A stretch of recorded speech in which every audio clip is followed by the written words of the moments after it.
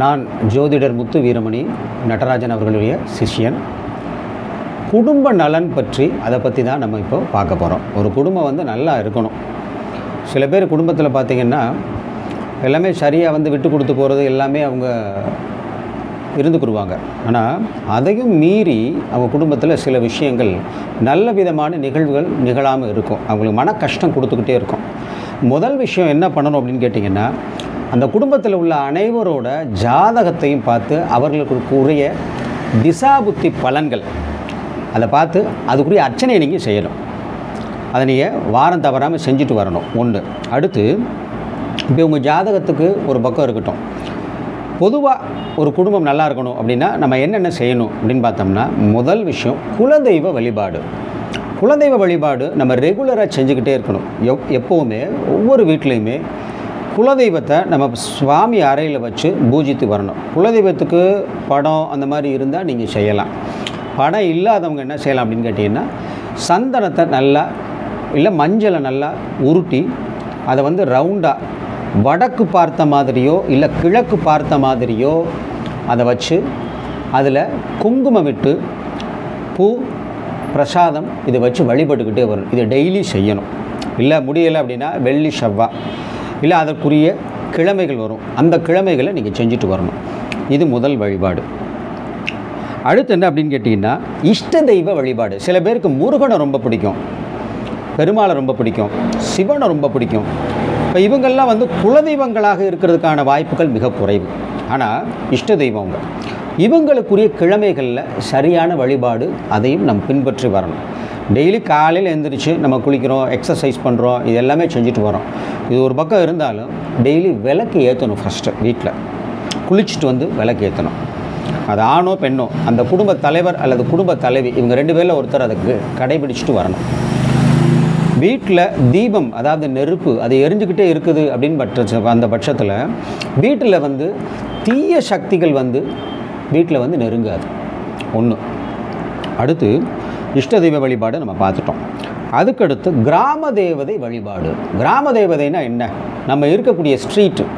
அந்த தெருவில் வந்து மாரியம்மன் சில அம்மன்கள் இருப்பாங்க. இல்லை தெய்வங்கள் கருப்பர் முனீஸ்வரர் இது போன்ற தெய்வங்கள் இருப்பாங்க.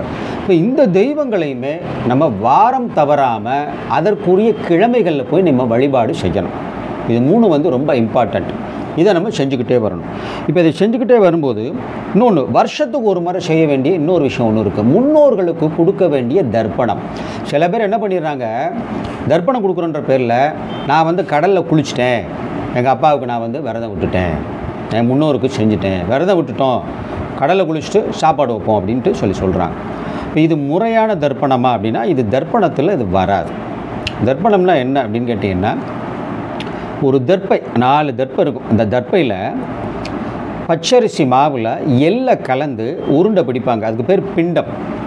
இந்த பிண்டத்தை வந்து நம்ம வந்து தானமாக கொடுக்குறோம். எது வழியை கொடுப்போம் அப்படின்னா வருண பகவான் அதாவது நீர்நிலைகளில் கரைக்கணும். இது வந்து ஒவ்வொரு உருண்டைக்கும் ஒரு ஒரு தாத்பரியம் இருக்கும் முதல் உருண்டை பித்ருவலி. ரெண்டாவது உருண்டை மாத்துருவலி மூன்றாவது உருண்டை. நம்ம வம்சத்திலே வந்து ஆண் அதாவது பித்ருவழியிலையும் சரி மாத்திரு வழியிலையும் சரி அகால மரணம் அடைஞ்சவங்களுக்கு கொடுக்கக்கூடிய பிண்டம். நாலாவது தர்ம பிண்டம். இப்போ இந்த பிண்டங்களை வந்து நம்ம செஞ்சு அதுக்கப்புறம் நம்ம காக்காக்கு சோறு வைக்கிறதோ பசுமாட்டுக்கு சோறு வைக்கிறதோ சாப்பாடு வைக்கிறதோ அதன் அதற்கு பிறகு விரதன்ற பற்றி பார்த்திங்களா அதுதான் வந்து முறையான தர்ப்பணம். இது செய்யாமல் சில பேர் என்ன பண்ணிடுறாங்க இதை விட்டுறாங்க அழகா கடலை குளிக்கிறது சாப்பாடு காக்காக்கி வச்சிட்டோம். நாங்கள் வந்து கொடுத்துட்டோம் அப்படின்னு சொல்லி சொல்கிறாங்க ஆனால் இது முறையான தர்ப்பணம் கிடையாது. தயவு செய்து முறையான தர்ப்பணத்தை நீங்கள் செஞ்சுட்டு வாங்க. அதுதான் உங்களுக்கு பித்திரு தோஷத்திலிருந்து விலக்கு கொடுக்கும்.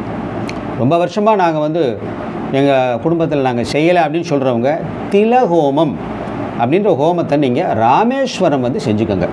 உலகத்திலே திலஹோமம் பண்ணுறதுக்கான உரித்தான உன்னதமான இடம் எது அப்படின்னு கேட்டிங்கன்னா ராமேஸ்வரம் தான். அதை வந்து செஞ்சுக்கோங்க. யாருனாலும் செய்யலாம். எந்த டேட்டில் வேணாலும் செய்யலாம். இதுக்கு தடை கிடையாது. இந்த த திதி அன்னைக்கு தான் செய்யணும் திலோமம் அப்படின்னு கிடையாது.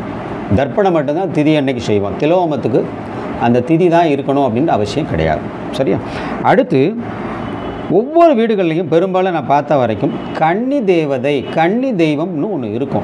அது யார் அப்படின்னு கேட்டிங்கன்னா அந்த குடும்பத்திலே பிறந்த ஒரு பெண் அது திருமணம் ஆவதற்கு முன்பாகவே அது இறந்து போயிடுவாங்க. அவங்க என்ன செய்வாங்க அப்படின்னா அந்த குடும்பத்தை காத்து நிற்பாங்க வரக்கூடிய இன்னல்கள்லேருந்து அந்த குடும்பத்தை காத்து நம்மளை கொண்டு வருவாங்க. அதை வந்து என்ன சொல்லுவாங்க அப்படின்னா கன்னி தெய்வம்னு சொல்லுவாங்க. நம்ம பேச்சு வழக்கில். அந்த கன்னி தெய்வ வழிபாடு ரொம்ப அவசியம். கன்னி தெய்வ வழிபாடு எப்படி செய்யணும் அப்படின்னா வடக்கு பார்த்த மாதிரி மஞ்சள் உருண்டையை வச்சு நல்லா வட்டமாக செவத்தில் அடிச்சுட்டு அதில் குங்குமம் வச்சு அதுக்கு மல்லிகைப்பூ பசும்பால் பிரசாதம் படைக்கணும். கன்னிதெய்வ வழிபாடு அதுக்கப்புறம் விரத காலங்கள் நம்ம வரும்.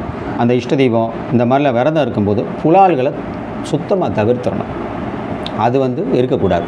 மற்ற நாட்களில் நீங்கள் நான் வெஜிடேரியன் நீங்கள் எடுத்து சாப்பிட்டுக்கிறலாம் அதுக்கடுத்து மாலை நேரத்தில் காலையில் எப்படி நம்ம விளக்கு ஏற்றுறோமோ அதே மாதிரி சாயங்கால நேரத்துலையும் விளக்கு ஏற்றணும் ஒரு வீட்டில் காலையிலையும் சாயங்காலமும் விளக்கு ஏற்றணும். சில வீடுகளில் பார்த்தீங்கன்னா கண்டினியூஸாக எரிஞ்சுக்கிட்டு இருக்கிற அளவுக்கு விளக்கு ஏற்றுவாங்க. நிறைய எண்ணெய் வந்து அதில் பிடிக்கிற மாதிரி எண்ணெய் நெய் அந்த மாதிரி பிடிக்கிற மாதிரி விளக்கு வச்சுருப்பாங்க. அது கண்டினியூஸாக டுவெண்ட்டி ஃபோர் ஹவர்ஸ் எரிஞ்சுக்கிட்டே இருக்கும். அது ரொம்ப நல்லது. அந்த மாதிரி இருந்தால் அல்லது எங்களுக்கு அந்த மாதிரி வசதி கிடையாது அப்படின்றவங்க அட்லீஸ்ட் ஒரு நாளைக்கு ஒன் ஹவர் எரியிற மாதிரியாவது நீங்கள் எண்ணெய் ஊற்றி எரிச்சோம் தீபம் ஏற்றி வைங்க. சாயங்காலமும் விளக்கேற்றணும் அதுக்கப்புறம் இன்னொரு முக்கியமான விஷயம் என்ன அப்படின்னு கேட்டிங்கன்னா திருஷ்டி சுற்றி போடணும். இந்த கண்ணீர் அப்படின்னு சொல்லி சொல்லுவாங்க.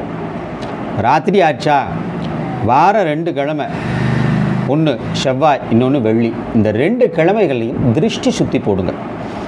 சில பேர் டெய்லி சுற்றுவாங்க தப்பே கிடையாது. டெய்லி சுற்றுறதுனால எந்த தவறும் கிடையாது. தைரியமாக சுற்றலாம் தைரியமாக அந்த திருஷ்டி சுற்றி போட்டு திருஷ்டி கழிச்சுங்க. திருஷ்டி கழிக்கும் போது யாருக்கும் எந்த விதமான தொந்தரவும் இல்லாத இடமா பார்த்து நீங்கள் திருஷ்டி கழிச்சுக்கிறலாம்.